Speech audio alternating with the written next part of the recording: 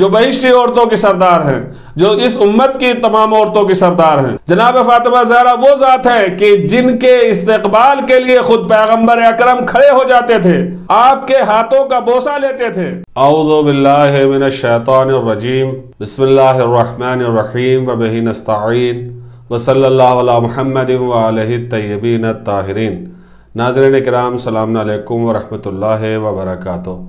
हम आप हजरात की खिदमत में जनाब ज़हरा सलाम के फ़ज़ाइल उम्मुलमोमिनीन आयशा की ज़बानी के अनवान से अहादीस बयान कर रहे हैं। आज की हमारी यह हदीस अहल सुन्नत की बहुत ही मोतबर किताब सही बुखारी और सही मुस्लिम से है।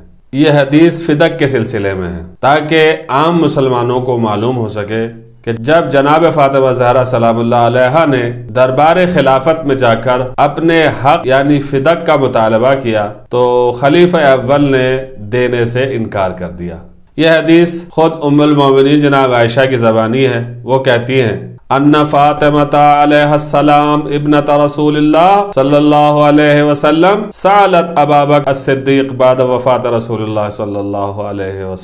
बेशक जनाब फातिमा बिनत रसूल सल्लल्लाहु अलैहि वसल्लम ने खलीफा अव्वल से रसूल इस्लाम की वफात के बाद ये मुतालबा किया अयक समलहा मीरा रसूलुल्लाह सल्लल्लाहु अलैहि वसल्लम मिम्मा अफा कि जनाब फ़ातिमा जहरा ने रसूल इस्लाम की मीरास का मुतालबा किया, जो माल फ़हम से था। फ़काल अबू बकर। तो जनाब अबू बकर ने कहा इन रसूल सल्लल्लाहु अलैहि वसल्लम काला ला नूरथो मा तरकना सदकतन। कि पैगंबर अकरम ने फरमाया कि हम मीरास नहीं छोड़ते, जो छोड़ते हैं वो सदका होता है। फ़गजबत फ़ातमा तो बिनता रसूल सल्लल्लाहु अलैहि वसल्लम। तो जैसे ही जनाब अबू बकर ने जनाब रसूल खुदा की तरफ़ यह नस्बत दी फ़ज़बत फ़ातमा तो। जनाब फ़ातमा जहरा सलाम अबू बकर के ऊपर गज़बनाक हुई। अल्लाह अकबर। फ़हजरत अबा बकर। और इसी तरीके से नाराज़ रही। फलम तजल मुहाजरत और आपका ये गजबनाक होना इसी तरीके से बाकी रहा। हत्ता तोफियत। यहाँ तक के बीबी इस दुनिया से चली गई यानी जनाब फातिमा जहरा सलामुल्लाह इसी तरीके से जनाब अबू बकर से नाराज़ रही, हत्ता तोफियत। यहाँ तक कि आपकी वफात हो गई। यानी अपनी वफात तक इसी तरीके से जनाब जहरा खलीफ अव्वल से नाराज़ रही। व आशत बाद रसूल अशहर। फलम्मा तोफियत और बीबी पैगंबर अकरम की वफात के छह महीने तक ज़िंदा रही। फलम तुकल्लिम हो हत्ता तोफियत। और सही बुखारी के एक दूसरी रिवायत में यह भी बयान हुआ है, फहजरत हो फलम तुकल्लिम हो हत्ता तोफियत। कि जनाब फातिमा जहरा, गजबनाक हुई और खलीफा अव्वल से कलाम नहीं किया, यहाँ तक कि आपकी वफात हो गई। फलम्मा तोफियत दफनहा, जोजहा लैलन। और जब जनाब फातिमा जहरा सलाम की वफात हुई तो हज़रत अली सलाम ने रात की तारीख में बीबी को दफन किया। अल्लाह अकबर। वलम यूजिन बिहा बाबाकर और खलीफा अव्वल को नमाज़ पढ़ने की इजाज़त तक न दी। वसल्ला और हज़रत अली सलाम ने खुद ही नमाज़ जनाजा पढ़ी। ये रिवायत सही बुखारी, जिल्द तीन, सफ़ा तीन सौ तिहत्तर के ऊपर और हदीस नंबर, इंटरनेशनल नंबरिंग के मुताबिक तीन हज़ार बानवे और तिरानवे पर नकल हुई है। इसी तरीके से यह रिवायत सही मुस्लिम में भी बयान हुई है। कुछ अल्फाज बदले हुए हैं, असल रिवायत यही है। वो कहते हैं, ये भी जनाब आयशा से रिवायत है। इसमें भी इसी तरीके से बयान हुआ है कि जब जनाब फातिमा जहरा ने फिदक का और माल फे का मुतालबा किया तो खलीफा अव्वल ने देने से इनकार कर दिया। इस हदीस में यह है फ़ाबा अबू बकर फातिमा जनाब फातिमा जहरा को कुछ भी देने से इनकार कर दिया। अल्लाह अकबर। फबजदत फातिमा तो अला अबी बकर फ़ी जालिक। बस ये सुनकर जनाब फातिमा जहरा गजबनाक हुई, नाराज़ हुई, गुस्सा हुई। फहजरत हो, फलम तुकल्लिम हो हत्ता तो अफियत और बीबी ने मरते दम तक कलाम नहीं किया। वह आशत बाद रसूलुल्लाह सल्लल्लाहु अलैहि वसल्लम सित्तत अशहुर। बीबी रसूल इस्लाम की वफात के बाद छह महीने तक ज़िंदा रही, लेकिन छह महीने तक गुफ्तगु नहीं की।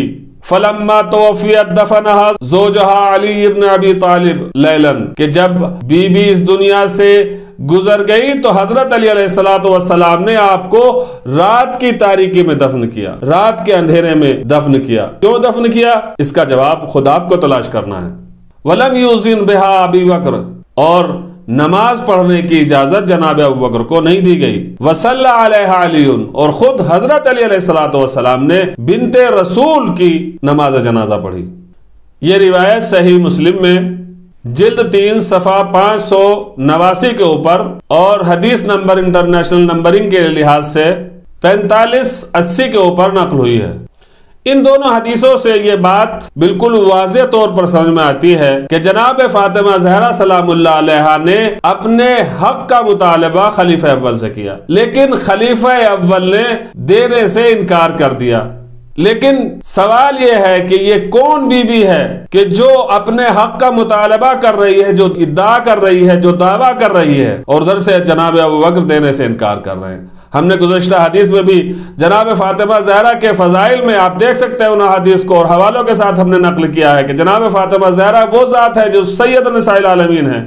जो बहिश्ती औरतों की सरदार हैं, जो इस उम्मत की तमाम औरतों की सरदार हैं। जनाब फातिमा जहरा वो जात है कि जिनके इस्तेकबाल के लिए खुद पैगंबर अकरम खड़े हो जाते थे, आपके हाथों का बोसा लेते थे। हम इस हदीस को एक दूसरी हदीस से मिलाते हैं, जो सही बुखारी, सही मुस्लिम और दीगर किताबों में मौजूद है। सबसे पहले हम बुखारी की वो हदीस बयान करते हैं, जो जिल्द तीन, सफ़ा 745 पर और हदीस नंबर, इंटरनेशनल नंबरिंग के लिहाज से सैतीस चौदह के ऊपर नकल हुई है, जिसमें रसूल इस्लाम ने फरमाया कि फातिमा तो बिजअतुमिन्नी फमन अगजबनी।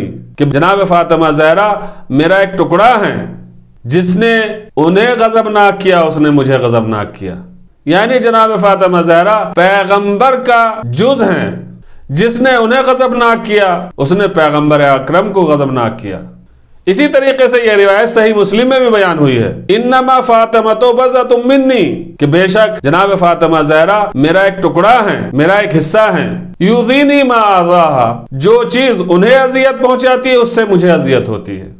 यह हदीस सही मुस्लिम, जिल्द चार, सफ़ा 600 हदीस नंबर, इंटरनेशनल नंबरिंग के मुताबिक 6308 के ऊपर नकल हुई है। इन दोनों हदीस में और उसके अलावा भी मुख्तलिफ़ किताबों में यह हदीस बयान हुई है। इसी तरीके से सुनन निसाई कुबरा में जिल्द पाँच, सफ़ा सत्तानवे के ऊपर यह हदीस नकल हुई है। मुसन्फ इब्न अबी शैबा में जिल्द छह, सफ़ा तीन सौ अठासी के ऊपर भी ये हदीस बयान हुई है। इन तमाम हदीस का मफहम यह है कि फातिमा पैगंबर अक्रम की नज़र में इतनी अजमत रखती थी, इतनी अहमियत रखती थी कि जनाब फातिमा जहरा को अपना एक हिस्सा बताया और उनकी अजियत को, उनके गजबनाक होने को, अपना गजबनाक होना और अपनी अजियत शुमार की। क्या नाउज बिल्ला कोई शख्स ये कह सकता है कि पैगंबर अकरम ने यूँ ही ये इर्शाद फरमा दिया था? सिर्फ़ बेटे की मोहब्बत थी। नहीं, बल्कि ये रसूल तो वो है कि जो वही के बगैर कुछ बोलता ही नहीं है। माता को वो रसूल फखजू, और जो रसूल तुम्हें बताएँ, तुम्हें दे, वो ले लो। लेकिन क्या इन हदीस के ऊपर अमल किया गया? अगर कोई शख्स इन दोनों हदीसों को एक साथ में रख के पढ़े तो उसको मालूम होगा कि जनाब फातिमा जहरा सलाम ने खलीफा अव्वल से अपने हक और फिदक का मुतालबा किया, लेकिन खलीफा अव्वल ने इनकार कर दिया, जिस पर जनाब जहरा गजबनाक हुई। और आखिरी दम तक कलाम नहीं किया। सही मुस्लिम और सही बुखारी की रिवायत है।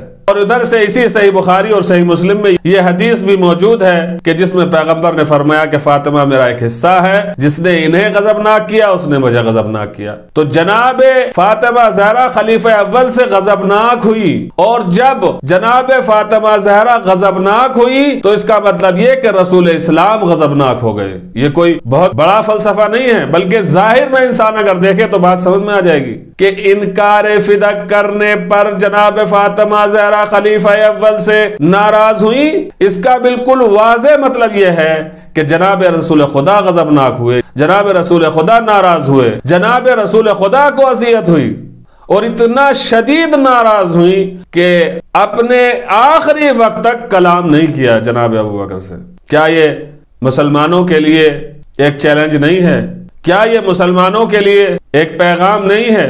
अगर कोई एक आम इंसान इन दोनों हदीसों को सामने रखे तो उसके ऊपर बिल्कुल बात वाजे हो जाएगी कि खलीफा अव्वल से जनाब फ़ातिमा जहरा सलाम नाराज़ थी और जनाब फ़ातिमा जहरा सलाम की नाराज़गी रसूल खुदा की नाराज़गी है और जो शख्स रसूल इस्लाम को नाराज़ करे जो रसूल इस्लाम को गजबनाक करे, जो रसूल इस्लाम को आजार और अजियत पहुँचाए, अल्लाह अकबर। फैसला आप खुद कर सकते हैं। अलबत्ता हम किसी की तोहीन नहीं करना चाहते हैं, लेकिन सही बुखारी और सही मुस्लिम की इन दोनों हदीसों को इंसान सामने रखकर फैसला करे तो उसको बात समझ में आ जाती है कि मसला क्या है। क्योंकि खलीफ अव्वल ने जनाब फातिमा जहरा सलाम के दावे को रद्द करके गोया जनाब फातिमा जहरा की सदाकत को झुटला दिया कि जिसकी जमानत खुद कुरान लेता है, जो मुबाइले के मैदान में झूठों के मुकाबले में आई थी, गोया सच्ची थी। और पैगंबर बीबी को लेके गए थे। और जिसकी शान में आए तथीर नाजिल हुई हो, खलीफ अव्वल ने उसको भी झुटला दिया। जिसकी मोहब्बत अजर रिसालत हो, अल्लाह अकबर। लिहाजा हमें इन अहादीस में गौर फ़िक्र करना चाहिए और गौर फ़िक्र करने के बाद ये अंदाज़ा लगाना हमारे लिए मुश्किल नहीं होगा कि हक किसके साथ था और हक पर कौन था। खुदा आलम, हम सबको तोफीक दे कि हम हक की शनाख्त के लिए जिद्दोजहद करें, कोशिश करें और इन हक का रास्ता समझ में आने पर उसकी इतबाओ पैरवी करें। खुदा आलम, हम सबको तोफीक दे कि हम जनाब फ़ातिमा जहरा सलाम को खुश रखें, ताकि पैगंबर भी खुश हों और खुदावंद आलम भी खुश हो। अपना ध्यान रखिएगा, दुआओं में याद रखिएगा। वालकम वरहमल वर्का